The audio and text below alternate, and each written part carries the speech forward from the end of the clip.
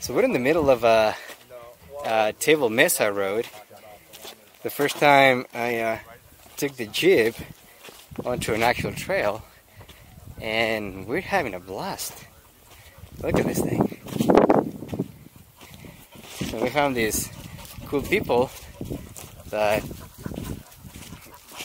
they're taking the lead. Have this cute dog help us airing down the tires and uh, they're kind of showing us. So we have these cool guys in the middle of the road who's helping us and guiding us through the thing.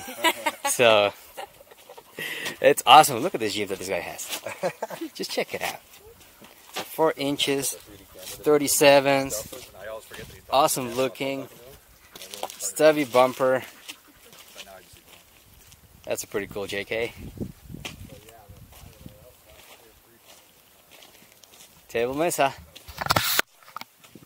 Up.